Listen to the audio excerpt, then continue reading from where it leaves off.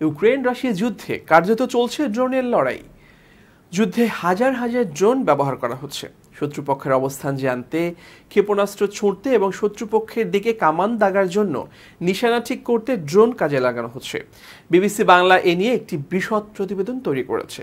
এই যুদ্ধে সামরিক ড্রোন যেমন ব্যবহৃত হচ্ছে, যেগুলো তৈরি করা হয়েছে যুদ্ধের জন্য, তেমনি আবার এমন অসামরিক ড্রোনও ব্যবহার করা হয়েছে যা দোকানে কিনতে পাওয়া যায়। ইউক্রেনের ব্যবহৃত প্রধান সামরিক ড্রোন তুরস্কের তৈরি, এটির নাম বাইরেক্টর ছিবি টু আকারে একটি ছোট উড়োজাহাজের সমান। এতে ক্যামেরা লাগানো আছে এবং লেজার নিয়ন্ত্রিত বোমাও বহন করা যায়। যুক্তরাজ্যের গবেষণা সংস্থা রয়্যাল ইউনাইটেড সার্ভিস ইনস্টিটিউটের গবেষক জ্যাক ওয়ালটলিং বলছেন, যুদ্ধ যখন শুরু হয় তখন ইউক্রেনের কাছে এরকম পঞ্চাশটি ড্রোন ছিল। অন্যদিকে রাশিয়া মূলত ব্যবহার করে ছোট খাটো সাধারণ মানের Orlan ten drone.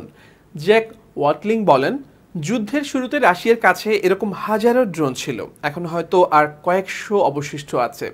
এই ড্রোনেও ক্যামেরা আছে এবং এটি থেকে ক্ষেপণাস্ত্র ছোঁড়া যায়। শত্রুপক্ষের টার্গেট খুঁজে বের করা এবং সেখানে নিশানা করে কামানের গোলা ছোড়ার ক্ষেত্রে দুপক্ষের ড্রোনই বেশ কার্যকরী। জ্যাক ওয়াটলিং বলেন ওরলান ট্রেন যখন শত্রুপক্ষের কোনো টার্গেট খুঁজে পায়, তখন রুশরা তিন হতে পাঁচ মিনিটের মধ্যেই তাদের কামান সেদিকে তাক করে গোলা দাগাতে পারে। তিনি বলেন, এই ড্রোনের সাহায্য না পেলে রুশদের এরকম একটা হামলা চালাতে বিশ হতে ত্রিশ মিনিট সময় লাগতো। লন্ডনের কিংস কলেজের ডিফেন্স স্টাডিজের একজন গবেষক ডক্টর মার্টিনা মিরন বলেন, ড্রোনের সাহায্য নিয়েও ইউক্রেনীয়রাও তাদের সীমিত বাহিনীর সক্ষমতা অনেকখানি বাড়াতে পেরেছে।